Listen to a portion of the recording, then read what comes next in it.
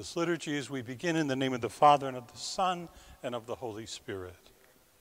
The Lord be with you. My friends, as we gather again this morning for our celebration of this liturgy, we remember and celebrate the feast of St. Anthony. St. Anthony was a Franciscan priest who lived in the 13th century. So we celebrate his feast day this morning as we first pause for a moment to call to mind the Lord's continuing goodness, graciousness, and forgiveness of our sins. Lord, have mercy. Christ, have mercy. Lord, have mercy. And may Almighty God have mercy on us all, forgive us our sins, and bring us all to everlasting life. Let us pray. Almighty, ever living God, who gave St. Anthony of Padua to your people as an outstanding preacher and an intercessor in their need, grant that with his assistance, as we follow the teachings of the Christian life, we may know your help in every trial. Through our Lord Jesus Christ, your Son, who lives and reigns with you in the unity of the Holy Spirit, one God forever and ever.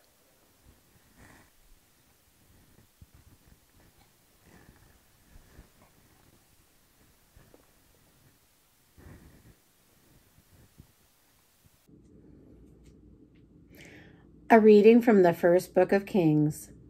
Elijah set out and came upon Elisha, son of Shaphat, as he was plowing with twelve yoke of oxen. He was following the twelfth. Elijah went over to him and threw his cloak over him. Elisha left the oxen and ran after Elijah and said, Please let me kiss my father and mother goodbye, and I will follow you. Elijah answered, Go back. Have I done anything to you? Elisha left him, and taking the yoke of oxen, slaughtered them. He used the plowing equipment for fuel to boil their flesh, and gave it to his people to eat. Then he left and followed Elijah as his attendant. The word of the Lord. Our responsorial psalm is Psalm 16. You are my inheritance, O Lord. Keep me, O God, for in you I take refuge. I say to the Lord, My Lord are you. O Lord, my allotted portion and my cup, you it is who hold fast my lot. You are my inheritance, O Lord. I bless the Lord who counsels me. Even in the night, my heart exhorts me. I set the Lord ever before me.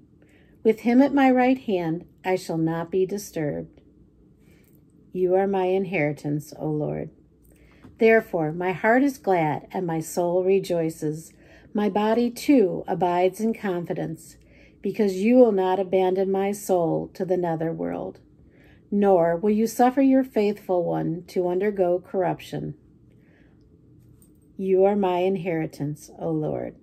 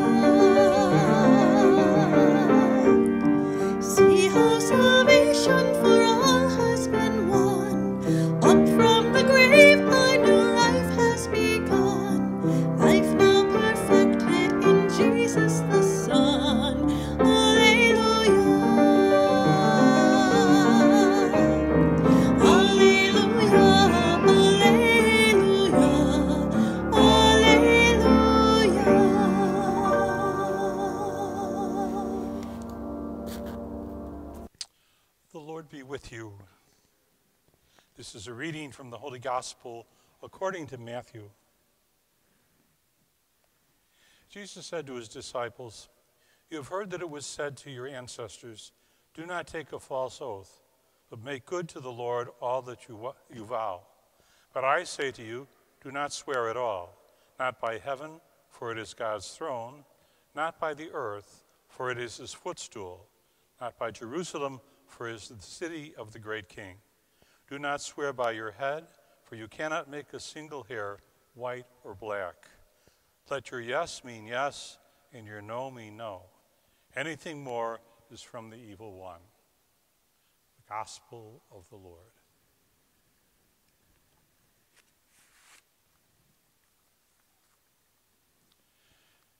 Jesus was a teacher. I think we see this very clearly in today's gospel. We also see it throughout all of the gospels. Jesus was a teacher.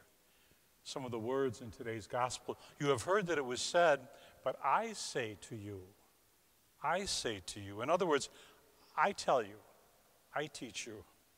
And Jesus' teaching is always characterized by more, beyond the minimum. He always kind of pushes us a little bit more to do more than what is usual. In today's gospel, for example, Jesus talks about the words that we say. He says, avoid swearing and avoid taking oaths. In other words, careless use of words. And beyond that, mean what you say. When you say something, when you say yes, mean yes. When you say no, mean no. I think what Jesus is telling us is that our words are powerful. They can help people, they can ennoble people, they can make them better, or they can pull people down, they can limit people. The point is, I think Jesus is asking us to think about the words that we say, to mean what we say, and realize that there's a power to the words that we use. When we say yes, to mean yes. When we say no, to mean no. We want to be honest in our words. We want to be honest in what we say, not fudging, not duplicity. In other words, our words are important because they show who we are. We take a moment now to call to mind our own prayers and our own petitions. We pray this day for peace in our world. Let us pray for peace in our communities and for peace in all of our hearts. We pray to the Lord. We pray that the Lord might help us during these days, especially with the pandemic that we're all experiencing. We pray that the Lord might give us a health and help those who are trying to find, uh, trying to find antidotes to this virus. Let us pray to the Lord. We pray for our communities, our St. Francis and St. Joseph communities, that the Lord continue to strengthen us and bless us in every way. Let us pray to the Lord. We want to remember and pray for in a special way the intentions for this Mass. Young Gi Lee, Sister Mary Eileen O'Connor, August Anthony Hoffner.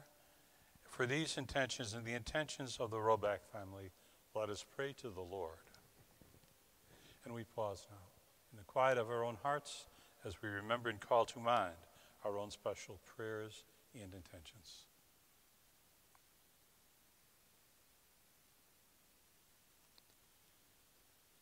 Good and gracious God, we raise up to you these and all of our many petitions and prayers. We ask that you hear them all through Christ our Lord. Amen.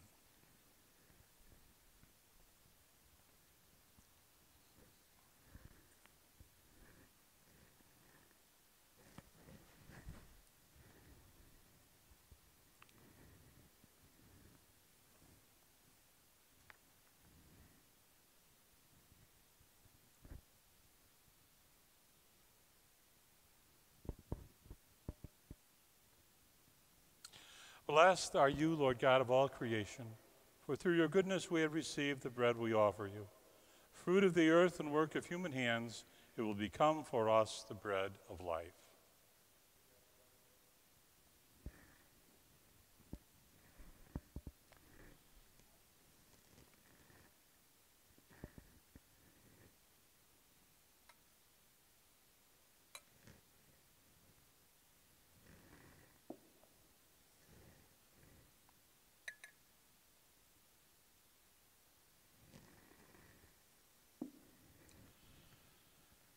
And blessed are you, Lord God of all creation, for through your goodness we have received the wine we offer you. Fruit of the vine and work of human hands, it will become our spiritual drink. with humble spirit and contrite heart.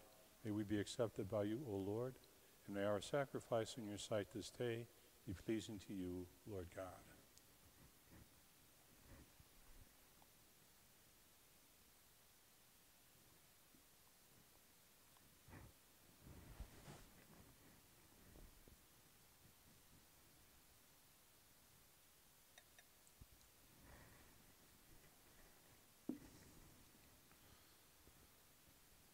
Pray, friends, that my sacrifice and yours may be acceptable to God, who is our Almighty Father. May the Lord accept the sacrifice at your hands. It's in glory of his name, for our good and the good of all his holy church. Receive, O Lord, we pray, the offerings placed on your altar in commemoration of blessed Saint Anthony, so that as brought so that as you brought him glory, you may, through these sacred mysteries, grant us your pardon through Christ our Lord.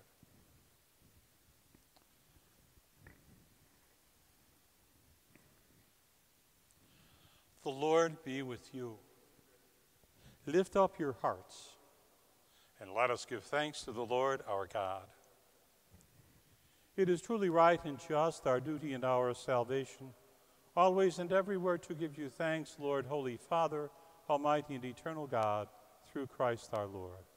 For as on the festival of St. Anthony you bid your church rejoice, so too you strengthen her by the example of his holy life, teach her by his words of preaching, and keep her safe in answer to his prayers. And so, with the company of angels and saints, we sing the hymn of your praise is without end we acclaim. Holy, holy, Holy Lord, God of hosts, heaven and earth are full of your glory. Hosanna in the highest. Blessed is he who comes in the name of the Lord. Hosanna in the highest. You are indeed holy, O Lord, the font of all holiness. Make holy, therefore, these gifts, we pray, by sending down your Spirit upon them like the dewfall, so that they may become for us the body and blood of our Lord Jesus Christ. At the time he was betrayed and entered willingly into his passion, he took bread and giving thanks broke it and gave it to his disciples, saying, Take this, all of you, and eat of it, for this is my body, which will be given up for you.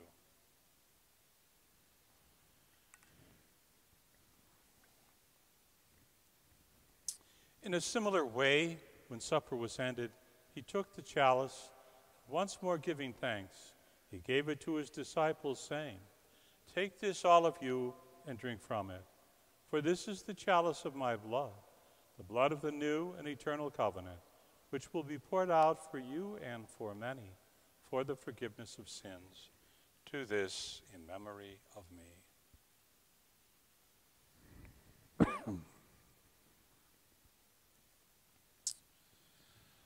the mystery of faith we proclaim your death, O Lord, and profess your resurrection until you come again. Therefore, as we celebrate the memorial of his death and resurrection, we offer you, Lord, the bread of life and the chalice of salvation, giving thanks that you have held us worthy to be in your presence and minister to you. Humbly we pray that partaking of the body and blood of Christ, we may be gathered into one by the Holy Spirit. Remember, Lord, your church spread throughout the world, and bring her to the fullness of charity together with Francis, our Pope, Blase, our Bishop, and all of the clergy. Remember also our brothers and sisters who have fallen asleep in the hope of the resurrection, and all who have died in your mercy. Welcome them into the light of your face. Have mercy on us all, we pray, that with the Blessed Virgin Mary, Mother of God, with blessed apostles, and all the saints who have pleased you throughout the ages, we may merit to be co heirs to eternal life and may praise and glorify you through your Son, Jesus Christ. through him and with him and in him, O God Almighty Father, in the unity of the Holy Spirit, all glory and honor is yours forever and ever.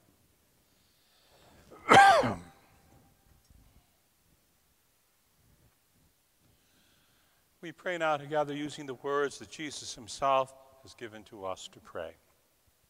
Our Father, who art in heaven, hallowed be thy name. Thy kingdom come, thy will be done, on earth as it is in heaven. Give us this day our daily bread, and forgive us our trespasses, as we forgive those who trespass against us. And lead us not into temptation, but deliver us from evil. Deliver us, Lord, we pray, from every evil. Graciously grant peace in our days, that by the help of your mercy we may be always free from sin and safe from all distress, as we await the blessed hope and the coming of our Savior, Jesus. For the kingdom, the power, and the glory are yours forever. Lord Jesus Christ, who said to your apostles, Peace I leave you, my peace I give you. Look not on our sins, but on the faith of your church, graciously grant her peace and unity in accordance with your will, who live and reign forever and ever. And may the peace of the Lord Jesus be with you always.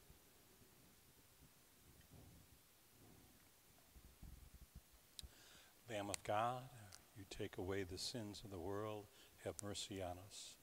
Lamb of God, you take away the sins of the world have mercy on us. Lamb of God, you take away the sins of the world, grant us peace.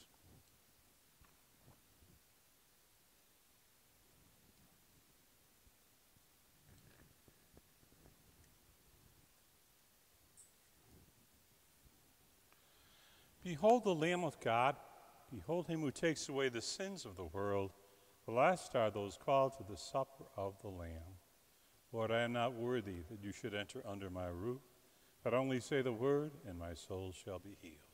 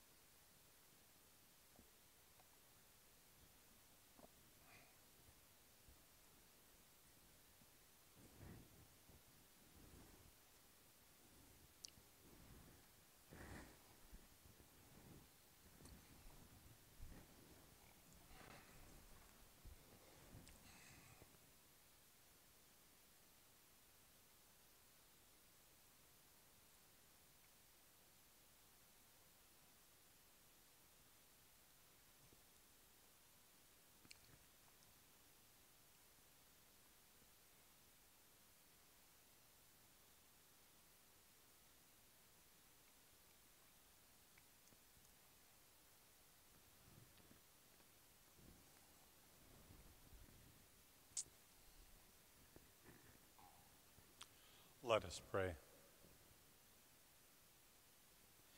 May partaking at the heavenly table, Almighty God, confirm and increase strength from on high and all who celebrate the feast day of Blessed Anthony, that we may preserve in integrity the gift of faith and walk in the path of salvation you trace for us through Christ our Lord. The Lord be with you. And may Almighty God bless us all, our Father, the Son, and the Holy Spirit. Our Mass is ended now. Let us all go in peace to love and to serve the Lord.